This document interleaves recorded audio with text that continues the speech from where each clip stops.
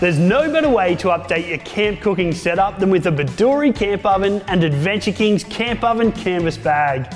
The Bedourie is a multi-purpose camp oven that means you can roast, boil and fry. Even the lid can be used as a fry pan so you can cook just about anything over the campfire. Then once you're finished, you can pack it away in the Adventure Kings camp oven canvas bag and store it in your vehicle without worrying about ash, dirt or grease messing up your interior. Neat, tidy and ready to be used the next time you're cooking over the campfire.